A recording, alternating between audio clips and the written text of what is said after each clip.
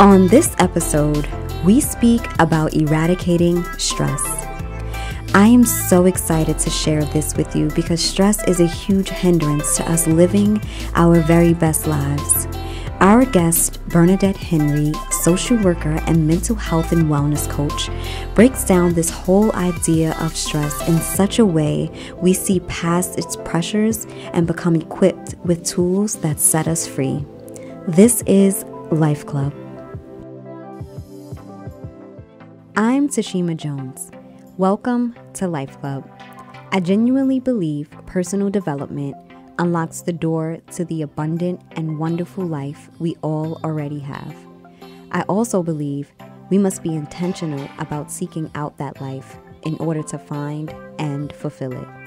I am so grateful your journey of discovery has led you all the way here. Let's keep moving forward together.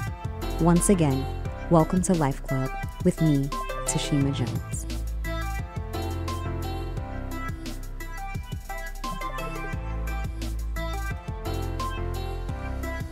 Welcome, welcome, welcome. Thank you so much for tuning in to Life Club with me, Tashima Jones. My homegirl Sunny on the boards is actually at home today, so we are sending good vibes and good energy to her and her family. Super excited to have you joining us. You could have been anywhere else in the world, but you are here with me. And for that, I am truly, truly grateful. As promised, I'm super excited about today's guest. She is definitely an amazingly wonderful woman that I actually had the privilege of working with over the past few years. So I'm so excited to have her on air.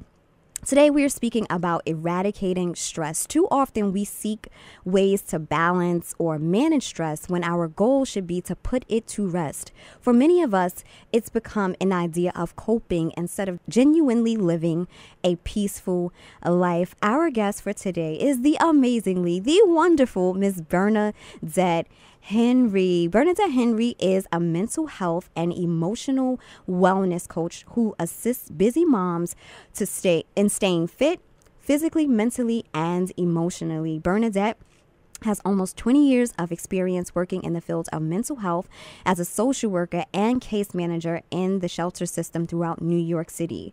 She is a wife, a mom of three young boys, including one with special needs, a jump rope instructor, and the founder of Make It Fun NYC, a lifestyle brand focused on helping you live your very best life, mind, body, and spirit. Make It Fun NYC has been featured in national magazines and digital media platforms. Gaining popularity with jumping rope, Bernadette has been featured on Dr. Oz, an Advil commercial, and a featured performer at the Tribeca ESPN Sports Film Festival. In addition to having multiple viral online videos, Bernadette teaches jump rope classes and workshops for children and adults and thoroughly enjoys serving her community. Thank you so much for being here. Please join me in welcoming Miss Bernadette Henry. Yes, thank you so, so much for inviting me here. I am so happy to be here today. Yes, and happy belated birthday. Thank you so much. Thank you yes, so much. we share, you know, that kindred energy, Yes. having our birthday in the same month. Before we get started, mm-hmm. as always, you know, you have to go through the same seven, our rapid fire rounds of questions. Are you ready? Yes, I am. Woohoo! What is your favorite color? Bright green.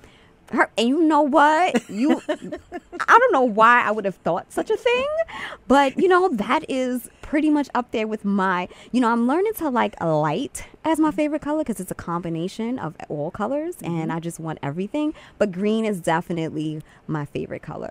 Representative of energy and fun. yes, good stuff and good energy. How do you stay healthy?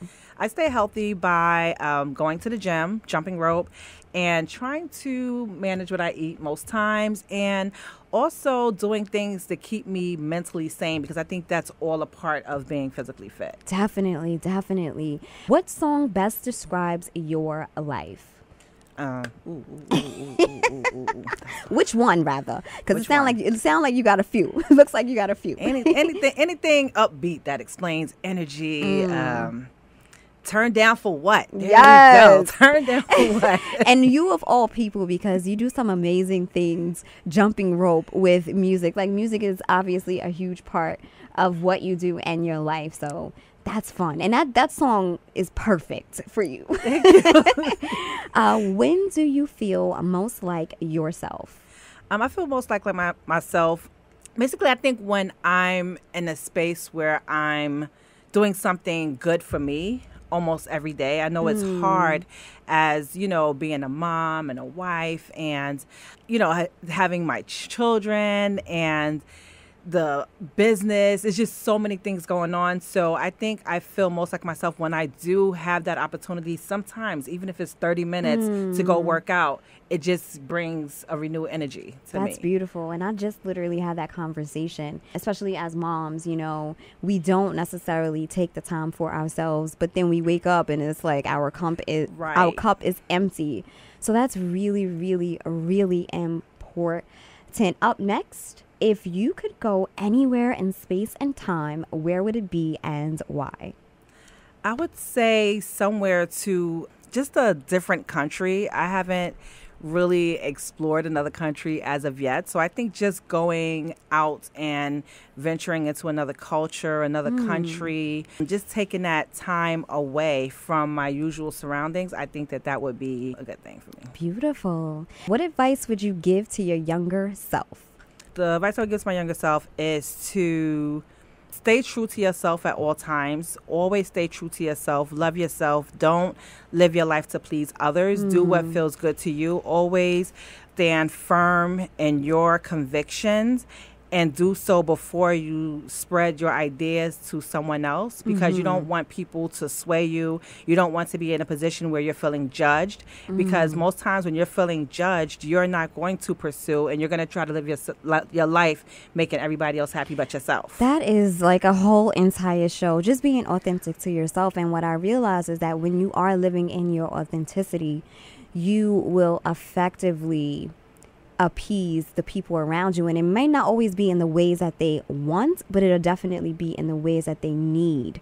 So that's that's really really really good and then the other thing you mentioned as far as like being judged i think when you are firm in your convictions of who you are judgment is is like it doesn't it doesn't sway you it doesn't because you know who you are it's kind of like somebody walking up to you trying to tell you that your name isn't your name like Right. you're not going to you know become boggled about that Right. because you already know your truth so i told you that was a, that's a show all in itself All in itself, I know. and last but not least, in your own words, what is the definition of life?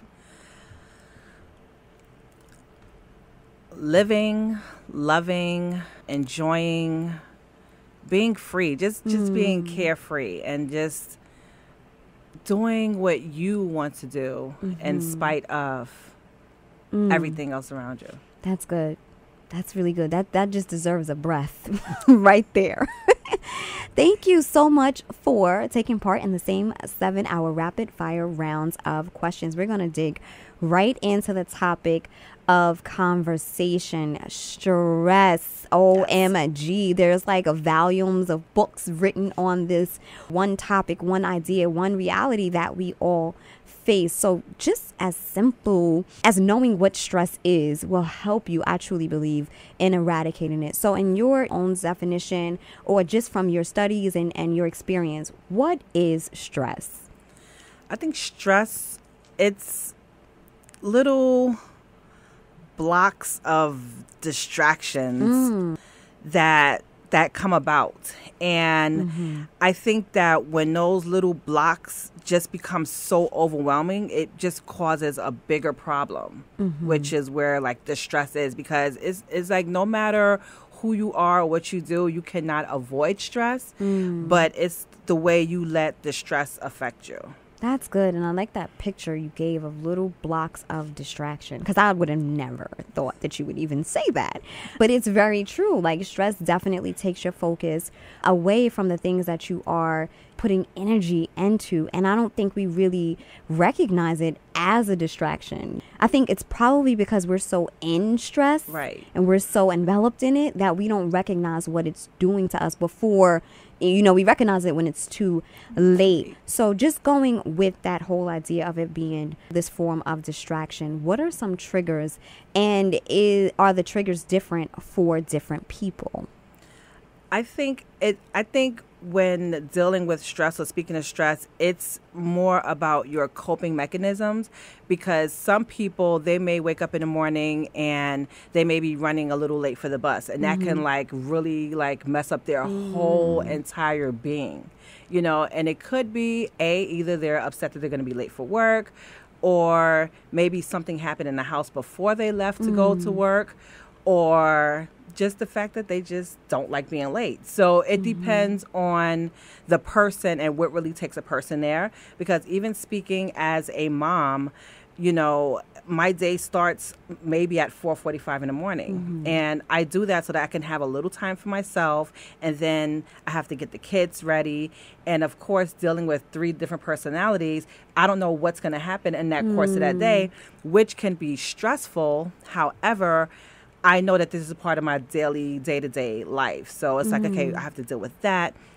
Then I have to leave the house. So before I've even reached work, I've had a lot of stresses in my mm. day. But mm-hmm. those stresses are stresses that I'm willing to deal with on a daily basis because I know that this is what the stress is going to be. Mm. So, you know, maybe I'll get to work and then the kind of people that I deal with, I can either let that affect me or I can say, okay, this is just a part of my job. I love my job. I'm not going to let this bother me. Mm-hmm. After work, I may want to go to a gym, but I can't go to the gym because I have to go home and cook and get the kids ready. And that can be stress. But these are the daily stresses that I can manage. But mm. for me, like this whole picture that I painted for you can become a huge stress if I go two and three weeks without taking out any time for myself. And mm. then I gain like five pounds. Now that can like make that stress like pop, you know, mm-hmm. because I'm able to deal with the everyday, the routine, and then mm-hmm. it's just once I realize, okay, look, I'm losing myself. That's that's the thing that's really stress. It makes like them little mm. blocks of stress pop or appear bigger than really what it is. Wow, you said so much. First of all, you started with your day, 4:45, and one of the key things that stood out to me was taking that time for yourself. How important is it to take the time for yourself before the day even really really starts? And how does that help with the other things that you come up against? During the day. There's so much I'm I'm pulling I'm going to dig in, but that's just the first part um, based on what you said. So how important is it to take time for yourself and how does that help you maneuver throughout your day? It's very important because I know that that time is under my control. I can control that time. So I know that nobody's n- no nobody's going to distract that time. So the kids are still asleep, the husband is still asleep, and you know, I know that if I woke up in the morning and I did my live streaming or my Instagram stories or whatever I choose to do at that time, I know that no matter what, nobody's going to interrupt it. And I already know that it happened, it got done. Mm. Because you just never know what's going to happen. The child may wake up, they may start vomiting or something. That was something I couldn't control. And then maybe I can't mm. go to work because I have to take the child to the doctor. So um, you know, getting up earlier, it helps me get the important things done because I can't control what happens after, you know, my day officially starts. Wow, that's so so so good. And i'm just gonna give a shout out to sunny because that's literally been her day. Like she was at the doctor the emergency in the emergency room with her daughter you know and she couldn't come here. And it's just speaking to the reality of what we go through in general and how what it sounds like is as if a lot of stressors come from the things that you cannot control Right. and that's really, really important for us to know because we are experiencing these day to day activities. And for some strange reason in our humanity, we believed at some point that we controlled the universe. And we really don't. And I think when we al- allow that idea to, to be released from our thinking and from our just our being, we are able to accept the things that come towards us and accept that certain things are out of our control. And I think with doing that, we allow stress we we kind of reduce the stress because oftentimes the things we stress about are things that we think we can control Right. and we're frustrated because we're unable to manage it but it wasn't yours to control in the first place Right. so just adding on that extra layer of responsibility that we truly aren't really even responsible for. The other thing that you said was the stress that may come along with certain segments of your day. Because, like all moms, and you know, I'm give a shout out to dads too. we like I you know it's funny when I'm in conversation I'm like okay I'm on to my third life or on to my third you know part of the day because it's you know just just in one day you can be yourself you can be mom you can be entrepreneur you can be sister you can be friend you can be so many things. And what you said was very important about the things that come along with those uh, roles that we play throughout Right. the day. Understanding that this is something that may come along with the territory of being an entrepreneur, of being an author, of you know running a business, of raising a family, and again that part of acceptance and just being aware that this is part of the territory. Even in that, it reduces the stress because, girl, you done set me free this morning. Because I'm like, all right, how do I coexist in this world? Because honestly, I like getting up early. 4 a.m. is my time. And for me, it's like when the rest of the world is asleep and it's just me and spirit just chilling. Right. And I'm like, how do I reproduce that throughout the day? But part of it is really accepting that things are not, you know, everything is not in our own control, accepting the reality of the things that come along with the territories that we coexist in, and then being able to maneuver through those things. right. So, with that being said, my other question is how do you stay in a space of rest and peace when the people around us are stressed? Oftentimes, it has nothing to do with us. You know, you spoke about being a social worker and being you are a mental health and wellness coach. How is it that you do not take on other people's stress? I think that I think it it comes with time because even in dealing with um, the people that I've dealt with, I know currently like I work um, in the family shelter, but my history, a lot of my history is mental health, HIV, chronic illnesses, things and and stories that will make a, a, a I mean I am a normal person, mm-hmm. but that will make a normal person really you know, shut down. Mm-hmm. You know, it's being able to stand firm and helping the individuals around me. And, you know, of course, when I'm working with people, whether I'm working with my coaching clients or whether I'm working with my clients at work, I have to set and create boundaries because I have to realize I'm not a therapist. you know, I'm mm-hmm. I'm here as a person that just kind of listens and kind of put the situation back to them in a way, you know, of course like I said, not in a licensed way, in a non licensed way. But that's kind of when you pull the most out of people, when you hear the most out of people.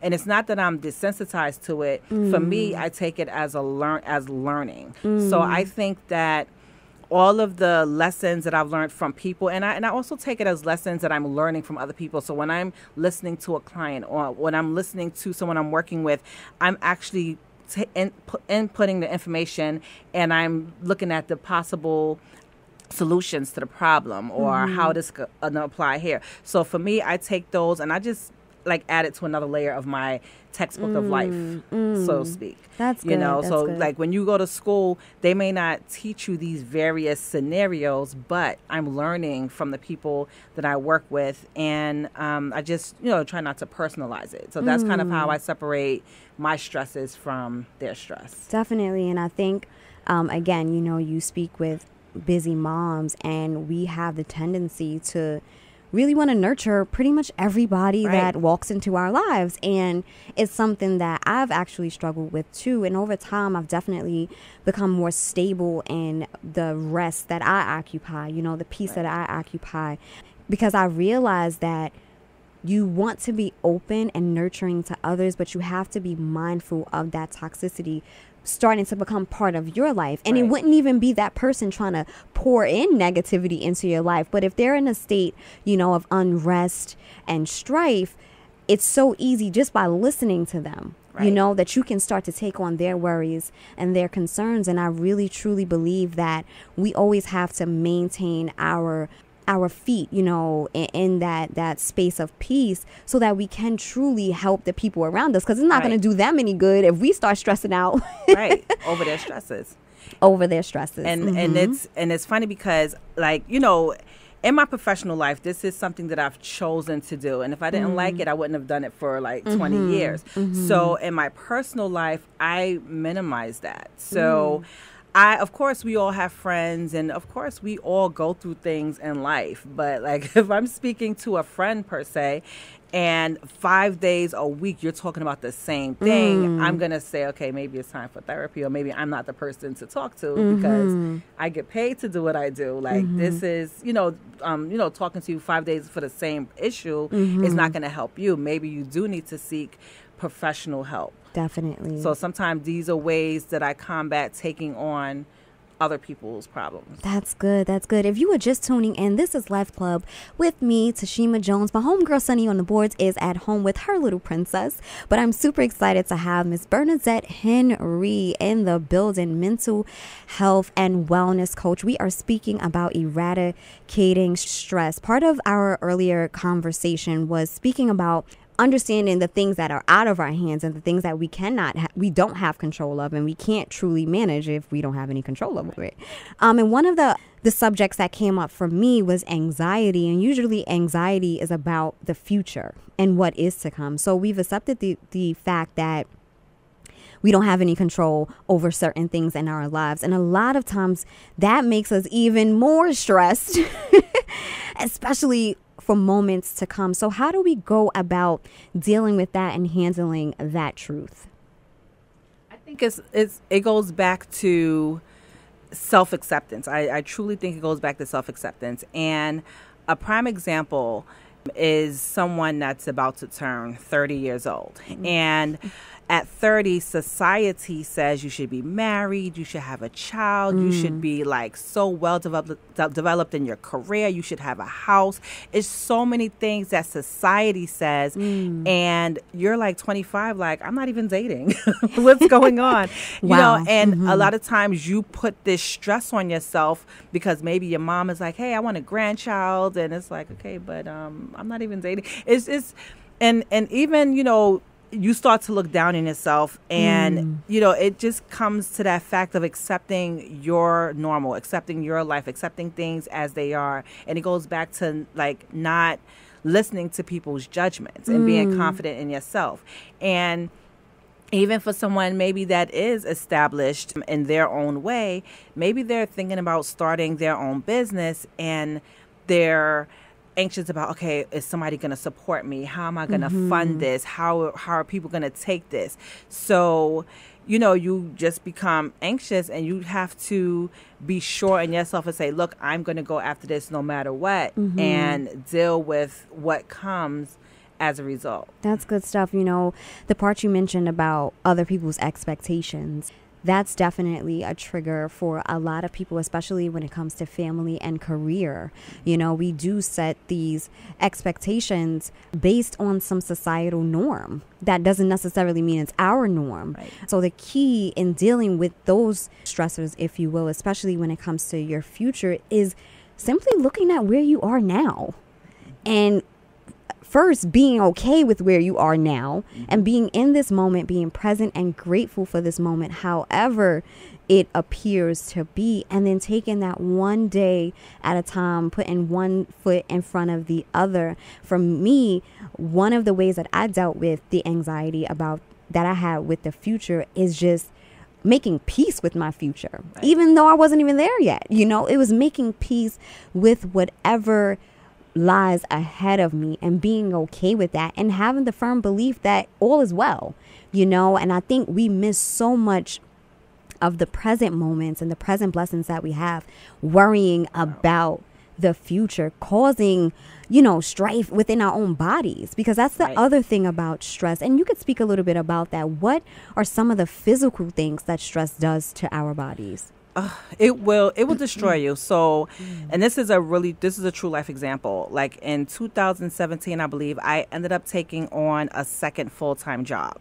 So i mm-hmm. was working a 9 to 5 job and then i was working like a saturday through tuesday from 12 a.m to 8 a.m and it it really like physically mentally it nearly took me out. And i did this for a mm. year. So i was sleeping three nights a week. Mm. I was going like two days a week i was going from one job to the next. And it, things got so bad i gained like 30 pounds. I was mm. on three high blood pressure medications. I was going to the doctor for this test and that test it was just so much on me. But I had to do it, you know, to take care of the family. But after a while, I said, you know what, it's just not worth it anymore. Mm. You know, things are just going to have to be the way they are. And I finally made a decision to quit one of the jobs. Mm-hmm. And like I said, that stress could have really took me out. And people used to say, Bernadette, how did you even do it? And I said, mm-hmm. you know what, I just had to keep a positive outlook on life, you know, at that time. And that's the only thing that kept me through. So, what was life like after you chose to walk away from something that caused you that much stress? Because that's the other thing. We don't we never get to that point because we're afraid of what's going to happen after that Right. point. So, what was life like after making that decision? It was, uh, I had to make a lot of adjustments because, like I said, I took on the second job just to fill some necessities. I had to make a lot of adjustments. I I then went and lost at least 10 of the pounds that I gained. Wow. Um, wow. I got down, I'm back down to like one medication, Mm. you know, and I just have a better peace of mind. And I've since then started a new brand, you know, Mm. so I had to do, you know, a lot of things, you know, the other way Mm. and take a backseat instead of trying to take the easier way out, just doing something that's harder but less stressful That's a me. beautiful thing. And we're going to speak a little bit more about that brand, right? Right. Um, but one of the things I wanted to, or a few of the things I wanted to piggyback on from what you said, if you are looking for a weight loss diet plan, let go of some of your stress. That's what it sounds like to me. it's true. It, uh, stress put on 30 pounds in a whole year. So that's one of the things. Again, oftentimes we don't have to add to our lives. A lot of times we have to let go of the things that we're holding on to to really fully flourish and live that very best life that is existing for us. I think sometimes it's like if we're lacking something, we think we have to add something, but oftentimes you got to let go of some stuff so that you can increase. So that's a beautiful thing. And I think it's so uh, reassuring that when you decided uh, to let go of that thing that caused that much stress, life got better. Yes, it did. It didn't go downhill, it actually went up.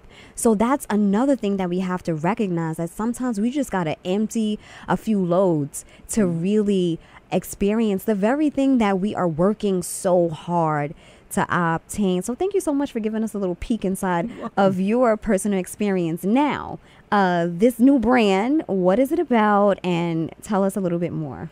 Well, basically, I am a mental health and an emotional wellness coach, certified Mm-hmm. life- life coach. And this is something that I've been wanting to do for a long time. And even in working with you, you told me your purpose is in you. Mm. So it's now things are starting to I'm starting to, you know, build up things, you know, slowly but surely. But I think this is something that's been in the works my whole life. Mm. It was just a matter of coming to that point in my life where I was ready to take it on and have been through enough therapy or have been through enough coaching or have been through enough, you know, getting ready to get me to where I am today to take on this new brand. That is so beautiful. OMG, that is so beautiful. And oftentimes, the things that we go through in life is all preparation for us to teach and to share with other people. So I'm super excited you. for you. Now, talk to us more about a few workshops that you have going on um, and, and the purpose behind them. So, um, April is National Autism Awareness Month, and earlier in this broadcast, I believe I did mention that I do have a son that's autistic. And um, in light of that, I am doing a lot of work with moms that whose child were, was newly diagnosed with autism mm-hmm. because you know that's a very stressful time for moms a lot of moms are not expecting that to happen a lot of moms are expecting their children to be normal and to just have this awesome life. So, mm-hmm. you know, in the future, they maybe want their child to get married, have children. And when, you know, a doctor says, hey, your child is autistic, you're thinking, okay, what kind of future is my child going to have? What kind of future am I going to have? You know, what, what, what is this life? And you're mm-hmm. angry about it. And you're like, why, why me? You know, why mm. not somebody else? Or you start to feel guilty, like, what did I do? I mean, did I have a glass of wine while I was pregnant? Mm. Like, you know, it's just so many feelings that a mom has, and a lot of these feelings that or stresses that moms go through prevents them from opening their eyes to the reality of their child's diagnosis and not getting their child the help that they need. Definitely. So when you say newly diagnosed, how what's that time span like? Actually, it takes a while for a mom to even get over it okay. because a lot of times, you know, children can be diagnosed with autism as early as 18 months. Okay. So it depends on the severity of a child's autism. Mm-hmm. So if a child is highly functioning autistic, it's really not going to show its head until like maybe three or four. Okay. If a child is lower functioning, it may show its head earlier, like 18 months. And um, and just describe like what is autism? Like what is it? Um, autism is a neurodevelopmental disorder, mm-hmm. and a lot of times children may have you know speech delay, or they may have. Um, it, it's just it just varies for different children, and okay. this is why it's a spectrum. Mm-hmm. So they have the low end of the spectrum, and then they have a higher end of the spectrum. Mm-hmm. And my son, he actually he falls on the higher end of the spectrum, so he was denied early intervention services because he was so smart. Mm. They didn't mm. detect it. So with him, you know, it came out maybe when he was like three, four. Because a lot of times the behaviors in a higher functioning autistic child, it still may appear like toddler like behaviors. Okay. So like the tantruming, mm-hmm. which is called meltdown in the autistic world, it's not a tantrum, but things like that that makes you start to wonder, okay, what's going on? Mm-hmm. And when a mom comes to terms with it, what is that process like? I know you mentioned certain things about guilt. Does denial have anything to do with it? What are some it of does. the experiences and the emotions that a mom or parent in general may experience? Yeah, when when it's all new, a mom they're going to go through a lot of negative emotions, which is normal. Okay. It's normal because you weren't expecting this. Mm-hmm. You know, so now you have to kind of change your life in the beginning because you're trying to figure out what is this that my child has, what treatment is there, and then you still have to manage your child's behaviors mm-hmm. because your child is behaving in such a way and you don't know how to deal with it. Mm-hmm. And then the school's not helping you or your family's not supportive. So you're kind of in this world alone, totally alone. Mm-hmm. You don't know what to do. And I think that this period lasts for, it, it, it could take se- like several months up to several years for a mom to really get over it. Wow. And a lot of times I went through that but I didn't realize it at the time until mm. like I'll look back on Facebook memories on something I posted and it's like, wow, I was really going through denial and anger and grief and guilt. But you're so busy once you start to accept, you're so busy trying to get your child to help that you forget about your feelings. Mm-hmm. So, what is the point of acceptance? What does that look like? And how can somebody get there sooner?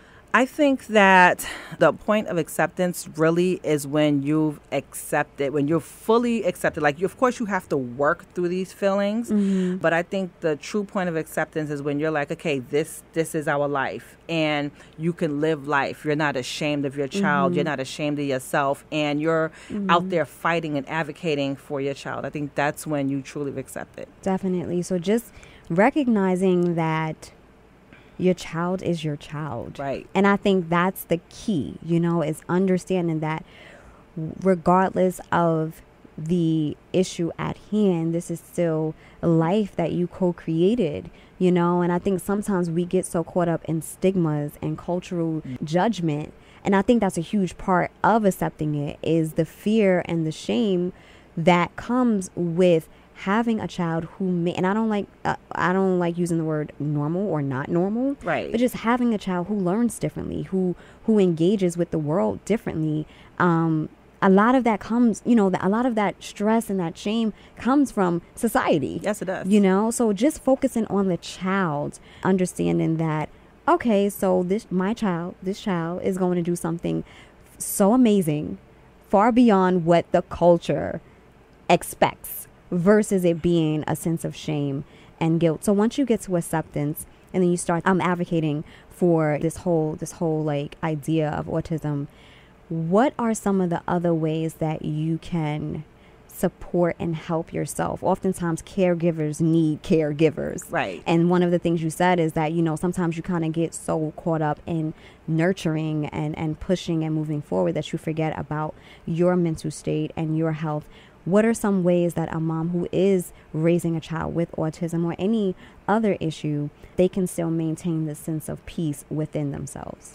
I think, you know, rec- first of all, recognizing that this is your child mm-hmm. and not trying to be the teacher at school or the speech therapist or the mm. vocational counselor at school. You just have to realize that you're still a mom. And sometimes moms may have one autistic child, but then they may have other children that mm. are neurotypical. They may have a husband. So in your household, you just have to, in keeping your child's development in mind, you have to run your house in such a way that it balances out for everyone. Mm. And once you find a sense of balance, and it's possible, you can, because me at home, I'm not looking at my son as my son with autism. Mm. I kind of know what triggers him, what doesn't trigger him, so I just make lifestyle accordingly. So if I know he likes to sit in the green chair rather than the blue chair, the green chair is always going to be there and available. Mm. You know, if I try to make him sit in the blue chair, I know like all hell might break loose. so it's a matter of once you fully accept managing your household around what's going on. Because at the end of the day i'm my child's mom. I'm mm-hmm. not his speech mm-hmm. therapist. I'm not his teacher. I'm not there to do you know he has those services in place. I don't have to do those services. Mm-hmm. i'll work in conjunction with them but i'm not going to be them mm, at home. that's good. So just knowing your role can knowing save your, your life. Yes that's really good. And the, and the one thing you said is just like not being consumed with the issue at hand, but just organizing life so that it can it can it is an open space for everybody involved, and not forgetting the other parts of who you are. That's a beautiful thing. I think you just saved a few lives, girl. oh, that's so good. So, where can everybody stay connected with you and to get more information about everything that you're doing? You can find me at um, BernadetteTHenry.com on on my, my website, on Instagram, Bernadette T Henry, and on Facebook, burn, uh, facebook.com backslash burn April 20. Awesome. And I wanted to just ask like one piece of advice that you would want to leave our listeners with. I kind of threw that out there. I, think, I know. I felt the strong energy to just ask that question. Yeah. I would say to like I always preach, accept yourself, mm. be accepting of yourself, be sure of yourself, and do not let other people's stresses or other people's judgments or other people's criticism, don't take them to heart. Whatever you do, it's not going to be an easy road. You're, mm. going to have to work and work really hard. Mm. So just because, for example, I quit the second job, yes, it was easy to sit somewhere and just sit there and, and, and at the end of the eight hours, get a check at the end of the week. Mm-hmm. Fulfilling my life's purpose through coaching, mm-hmm. it's going to take a little more work than just sitting there and then collecting a check. Mm-hmm. It's going to take more work. However, it's my purpose to help other people, and it brings me joy and it brings me peace.